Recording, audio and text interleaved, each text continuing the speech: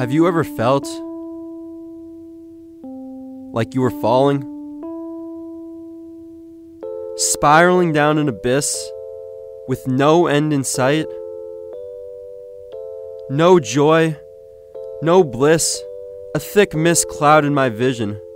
Doubt and fear crept through. Happiness was missing. Have you ever felt all alone, hopeless? Like you were once a great ruler, but someone took your throne? No friends to phone, no place to call home. But when someone asks, How are you? you lie and say, I'm fine. You hold the tears in, but deep down, you know you need to cry. Falling down this endless abyss is where we learn how to fly. Say something. Speak up. For mental health, we all need some help.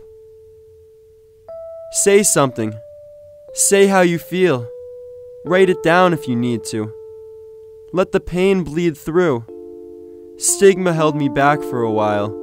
I stopped listening to my emotions. I was caught up in denial.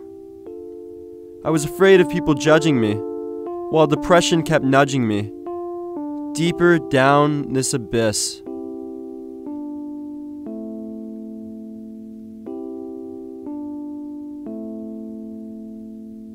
In this abyss, you find who you really are.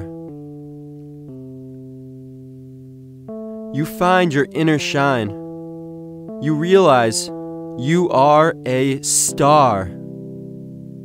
You realize you can climb back out. You realize you can clear your house. You realize you can scream and shout, I am special. I am worthy.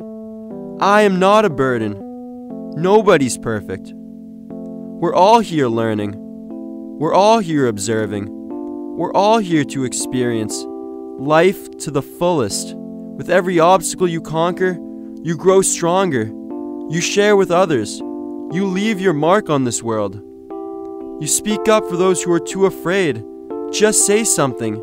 You don't have to be a renegade to change the world. Words have power. Stigma takes that power away. Speak up for what you believe in. Don't let others take your power away. Affirm, I am here to stay. I am here to stay. No matter how much suffering and pain, you can never take my spirit away. Can you feel it?